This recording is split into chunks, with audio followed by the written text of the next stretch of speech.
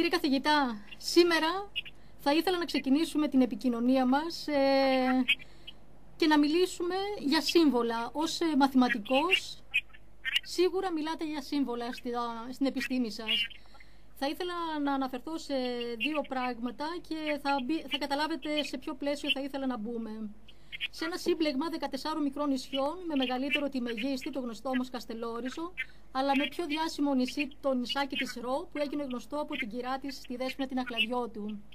Αυτή, το νησάκι αυτό έγινε γνωστό λοιπόν από την κυρά της, γιατί ήταν εκεί σύμβολο, κρατώντας στα χέρια της την Ελλάδα, την ελληνική σημαία, να την υψώνει καθημερινά σε αυτό το έρημο νησί και να φύγουμε από το καταγάλωνο του Αιγαίου, να πάμε στη Βόρεια Ελλάδα, στον ακριτικό μας Εύρο, στην κυρά των Μαρασίων. Μία άλλη γυναίκα, η οποία μας άφησε τον Ιούνιο σε ηλικία 107 ετών, έκανε ακριβώς το ίδιο. Ήψωνε την καταγάλανη ακριβώς απέναντι από τα σύνορα με την Τουρκία. Θα ήθελα λοιπόν να μιλήσουμε για σύμβολα. Αυτές οι δύο γυναίκες κρατούσαν την Ελλάδα, την ελληνική σημαία στα χέρια τους. Και βέβαια για το ναι, Καστελόριζο... Το... Να κοιτάξουμε και λίγο το, την ετοιμολογία. Δηλαδή το, το σύμβουλο χρειάζεται δύο στοιχεία. Mm-hmm. Είναι δύο στοιχεία που πάνε μαζί για να κάνουν ένα καινούριο. Αυτό που έχει σημασία σε αυτά τα δύο παραδείγματα που δώσατε ε, δεν είναι μόνο ότι κάποιος σήκωνε τη σημαία που βέβαια είναι το πιο σημαντικό. Είναι ότι κάποιος το έβλεπε.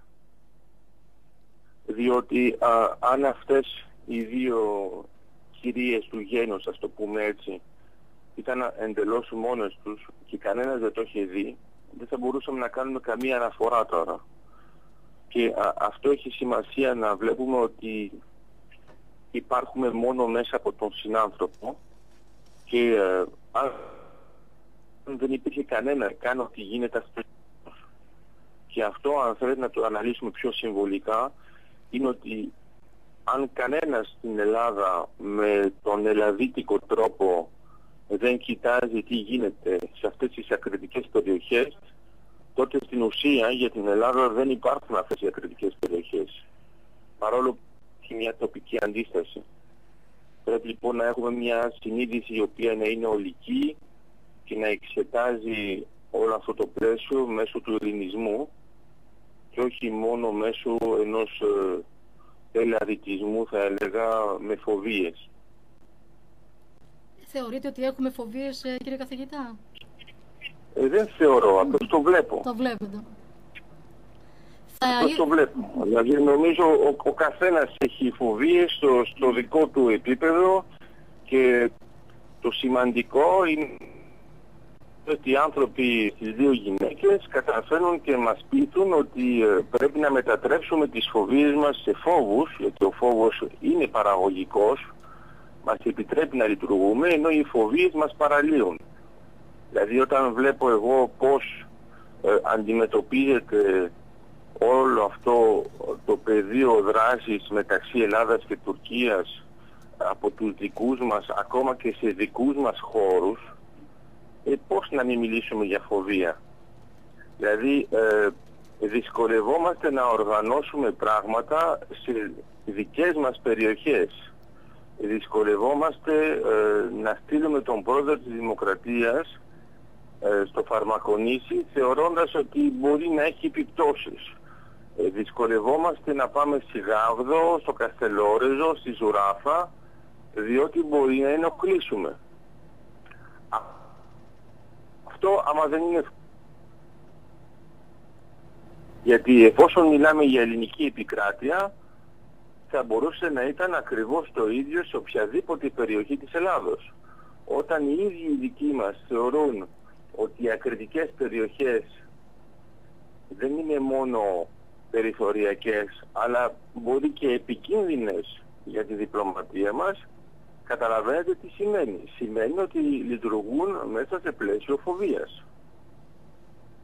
Γιατί αλλιώς πώς θα υπάρχουν αυτοί οι άνθρωποι π.χ. στο Καστελόριζο, στη Στρογγύλη, στη Ρο, πώς αυτοί ζουν, επειδή δεν έχουν αυτές τις φοβίες. Μπορεί να έχουν φόβους και αυτό είναι αντικειμενικό και πρέπει να τον έχουν, γιατί όπως είπα και πριν είναι παραγωγικός ο φόβος και έτσι λειτουργούμε στρατηγικά και σκεφτόμαστε τρόπους να αντιμετωπίσουμε την πραγματικότητα. Ενώ η φοβία μας παραλύει, δεν κάνουμε απολύτως τίποτα και βέβαια ε, ο λεγόμενος γείτονας που στην πραγματικότητα είναι ένας αντίπαλος το χρησιμοποιεί εναντίον μας. Δηλαδή οτιδήποτε δεν κάνουμε λειτουργεί εναντίον μας. Όπως λέμε στα δικαστήρια ότι οτιδήποτε θα πείτε θα είναι εναντίον σας, εδώ στη διπλωματία είναι οτιδήποτε δεν κάνεις λειτουργεί εναντίον σου. Γιατί μετά ε, από την άλλη πλευρά θεωρούν ότι αυτό είναι δεδομένο. Ότι εμείς έχουμε αμφιβολίες. Ότι δεν μπορούμε να λειτουργήσουμε παντού στην Ελλάδα με τον ίδιο τρόπο. Άρα μετά εξετάζουν με ποιο τρόπο λειτουργούμε σε διάφορες περιοχές και μετά ενισχύονται και ε, μπορούν να προωθήσουν την ιδέα που γνωρίζουμε ως γκριζές ζώνες. Κύριε καθηγητά, να πάμε και στο σύμβολο. Θεω... Βεβαίως τα προβλήματα, τα προβλήματα τα οποία αντιμετωπίζουμε με τις φοβίες μας τυχαίως αφορούν γκρίζες ζώνες.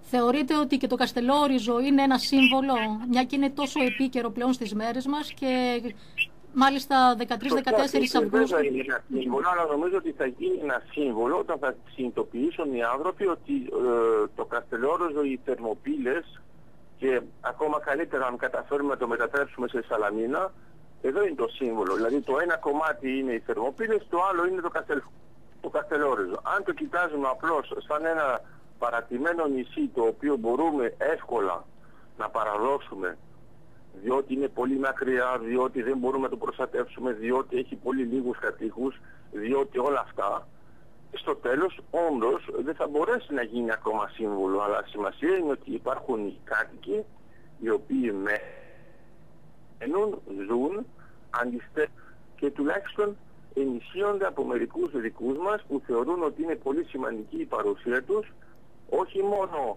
επειδή ε, είναι σημαντικός ο χώρος ιστορικά και διαχρονικά και καθόλου για λόγους ε, εθνικιστικούς για τους οποίους αδιαφορούμε παντελώς αλλά για λόγους ανθρώπινους και αξ, ανθρώπινης αξιοπρέπειας. Δεν υπάρχει λόγος αυτοί οι άνθρωποι να μην ζουν ελεύθερα σε αυτές τις περιοχές και αν οι δικοί μας σε οποιοδήποτε επίπεδο της ελληνικής δρασιοκρατίας ή της ελληνικής πολιτικής που δήθεν παίζουν έναν σημαντικό ρόλο και στην ουσία ξέρουμε όλοι ότι είναι ανούσιος και ε, ευτυχώς είναι όπως η μόδα και περνάει, άρα πάμε μετά στους επόμενους. Ε, στο τέλος της ημέρας αυτοί που μένουν είναι οι κάτοικοι.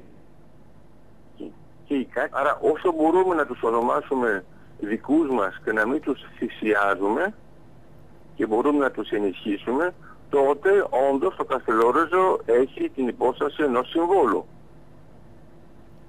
Λένε οι Τούρκοι για το Καστελόριζο είναι ένα νησί τόσο απομονωμένο από τον ελληνικό υπηρετικό κορμό. Δεν μπορεί να περιορίζει τόσο πολύ την τουρκική υφαλοκρηπίδα.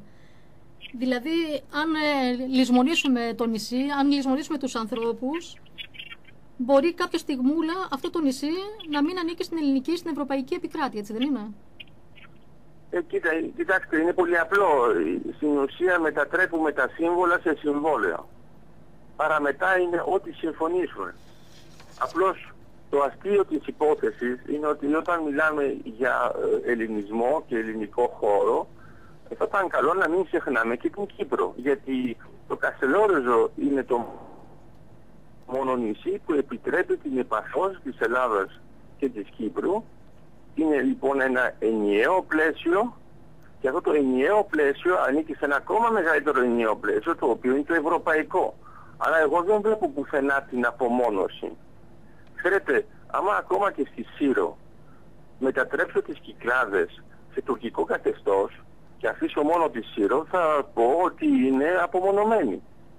Δηλαδή είναι πραγματικά η νοημοσύνη που μετατρέπει την πραγματικότητα και όχι η πραγματικότητα την νοημοσύνη. Γιατί η νοημοσύνη δημιουργεί την επόμενη πραγματικότητα.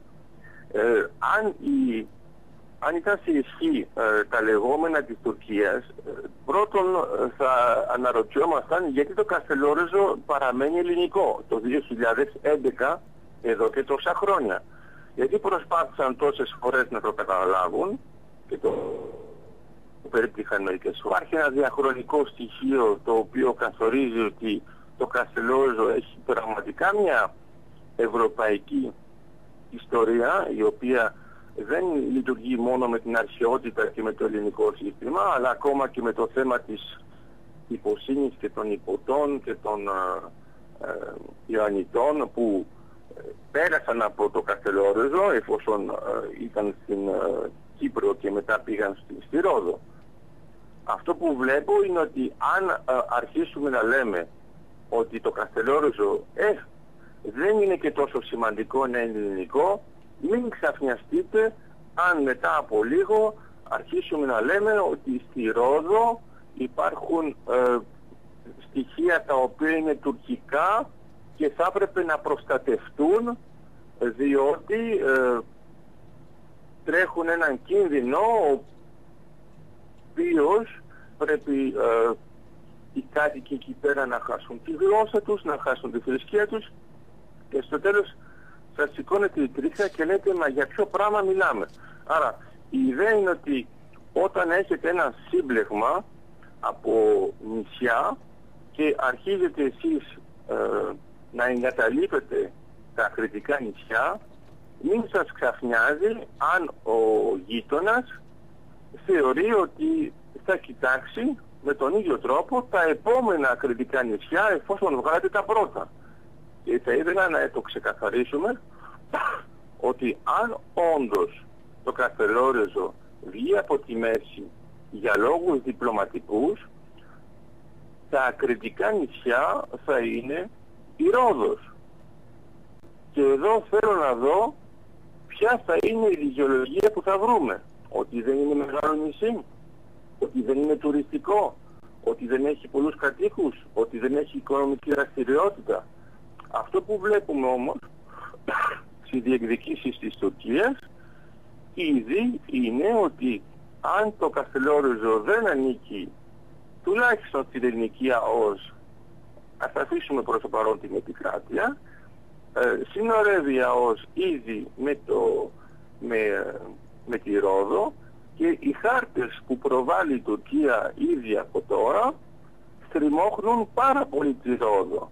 Και θα ήταν καλό οι άνθρωποι που μένουν στη Ρόδο, που, που μερικές φορές μπορεί και να διαφορούν επειδή τους εξηγούν άλλοι οι δήμονες και οι ειδικοί ότι το Καστελόριζο δεν είναι τόσο σημαντικό, ότι το Καστελόριζο είναι η προστατευτική ασπίδα της Ρόδου.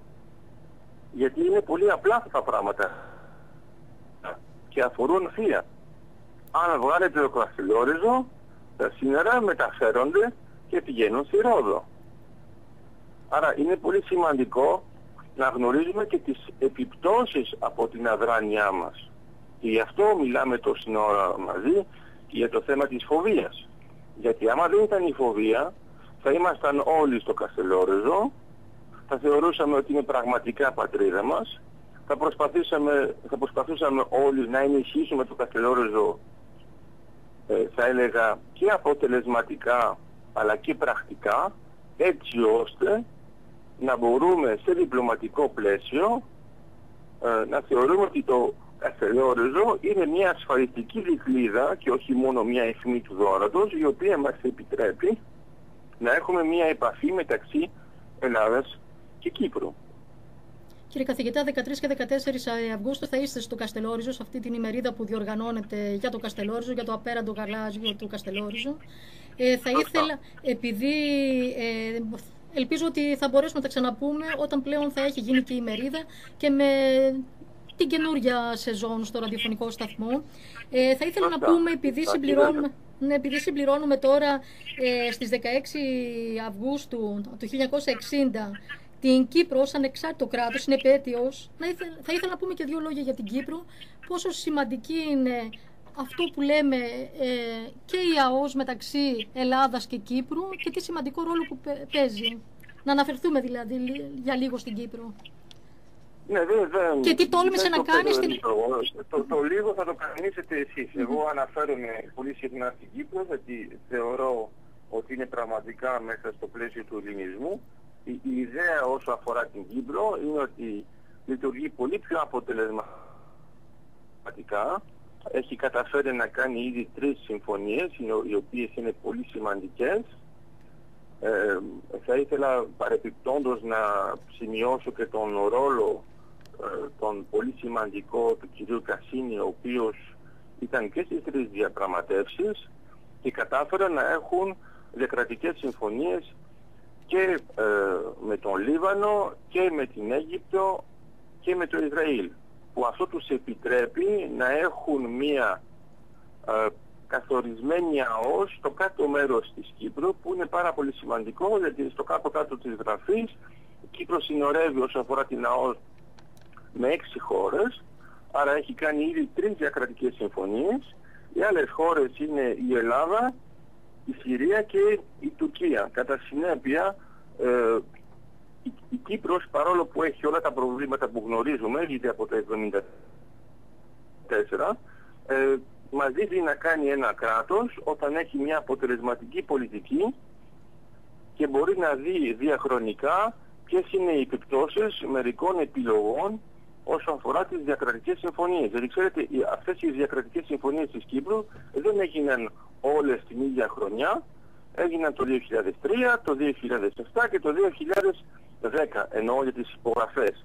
Βέβαια οι διαπραγματεύσεις κράτησαν χρόνια για, τις κάθε, για κάθε μία από αυτές τις περιπτώσεις. Αλλά αυτό που έχει σημασία είναι ότι υπάρχει μια συνοχή τώρα όσο αφορά την ΑΟΣ και νομίζω ότι ε, σιγά σιγά έρχεται η ώρα να συμπληρώσει και η Ελλάδα τουλάχιστον την τέταρτη ε, διακρατική συμφωνία έτσι ώστε να έχουμε ε, όχι μόνο de facto αλλά de jure μια συνοχή όσο αφορά την ΑΟΣ μέσα στο ευρωπαϊκό πλαίσιο.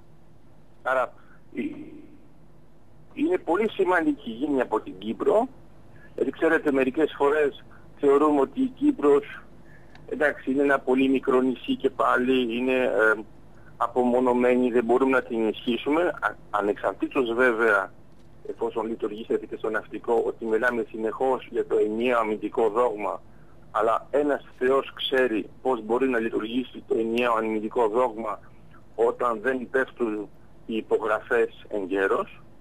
Άρα η ιδέα είναι ότι ε, ας αφήσουμε αυτές τις φοβίες μας, ας ασχοληθούμε με αυτές τις περιοχές έτσι ώστε να καταλάβουμε ότι λειτουργούν μέσα σε ένα ενιαίο πλαίσιο και να επισημάνουμε επιπλέον ότι όταν έχουμε συμφωνίες και με τον Λίβανο και με το Ισραήλ και με την Αίγυπτο για να τις τοποθετήσω γεωγραφικά δεν μπαίνουμε πια σε μια αντιπαράθεση μεταξύ μουσουλμανικών και εβραϊκών χωρών. Είναι συμφωνίες διακρατικές οι οποίες ε, επιτρέπουν σε όλους ε, να εκμεταλλευτούν τους πόρους τους και πρέπει να επισημάνουμε, μια που επικεντρωθήκαμε πάνω στην ε, Κύπρο, ότι η Κύπρος θα αρχίσει τις έρευνες 1η Οκτωβρίου 2011 και νομίζω ότι σίγουρα θα ξαναβρεθούμε μαζί Ράνια, αλλά θα, θα μπορέσουμε να το πούμε και και στο ραδιόφωνο την ώρα που θα λειτουργεί ε, αυτό το πρώτο, δηλαδή αυτή η πρώτη προσπάθεια έμπρακτης ε, έρευνας. Και να πούμε ότι δεν είναι πια, ε, ε, πώς να το πω, ε, ένα παίγνιο του τύπου πόκερ και λέμε εμείς θα κάνουμε αυτό γιατί σε κάποια φάση παλαιότερα είχαν κατηγορήσει ότι όλη αυτή η διαδικασία ήταν ένα παίγνιο του Παπαδόπουλου αλλά δεν ήθελε να υλοποιήσει τίποτα. Τώρα έχουμε περάσει στο στάδιο της υλοποίησης. Δηλαδή υπάρχουν ξένες εταιρείες, υπάρχουν τα 13 blocks, θα αρχίσουν και οι έρευνες 1η Οκτωβρίου και αναρωτιέμαι τι θα πούν αυτοί που τόσα χρόνια είναι αδρανείς και δεν δίνουν τόσο μεγάλη σημασία στο, ε, στο πλαίσιο της ΑΟΣ ενώ ε, ένας άνθρωπος σαν τον κύριο Καριώτη που έχει πραγματικά ε, δηλαδή και ιδρώσει και δώσει το αίμα του για αυτό το θέμα, σιγά σιγά αναδεικνύεται πόσο σωστός ήταν και μου θυμίζει αν θέλετε τον κύριο Κρανιδιώτη για την Κύπρο, ο, ο οποίος ήταν ο πρώτος που έλεγε ότι η Κύπρος πρέπει να ενταχθεί στην Ευρωπαϊκή Ένωση και τότε στην Κύπρο θεωρούσαν ότι ήταν εντελώς τρελός, συγκεκριμένα τον τρελό, διότι ήταν τόσο εκ πραγματικότητας που δεν μπορούσαν να τον πιστέψουν. Τώρα όμως εμείς το 2011 μετά από το 2004 δεν έχει ανάγκη να μας πείσει ο κύριος Τρανιδιώτης. Και το ίδιο είναι και για τον κύριο Καριώτη. Ο, ο κύριος Καριώτης δεν έχει ανάγκη να πείσει τους Κύπριους τώρα ότι υπάρχει θέμα της ΑΟΣ. Το βλέπουν έμπραχτα και βλέπουν και τα ωφέλη που μπορεί να προσφέρει. Άρα όταν θα αρχίσουμε πραγματικά να βρίσκουμε ακόμα και αέριο, θέλω πραγματικά να δω τους ανθρώπους που λένε ότι όλο αυτό είναι απλώς ένα παίρνιο διπλωματικό. Κύριε καθηγητά, θα ήθελα να σας ευχηθώ καλή επιτυχία στην ημερίδα στο Καστελόριζο, όπως είπαμε 13-14 Αυγούστου. Ε, και θα ήθελα να μου επιτρέψετε να κλείσω με κάποιους στίχους του Ελίτη από το Τρελοβάπορο. Χρόνος μας ταξιδεύει, δεν βουλιάξαμε, χίλιους καπεταναίους τους αλλάξαμε. Κατακλυσμούς ποτέ δεν λογαριάσαμε. Μπήκαμε μέσα στα όλα και περάσαμε. Και έχουμε στο κατάρτι μας βιγλάτορα, παντοτινό τον ήλιο, τον ηλιάτορα. Καλή συνέχεια σας εύχομαι, καλή επιστροφή στην Ελλάδα, καλή επιτυχία στην ημερίδα. Ευχαριστώ και πάλι, να είστε καλά. Καλημέρα.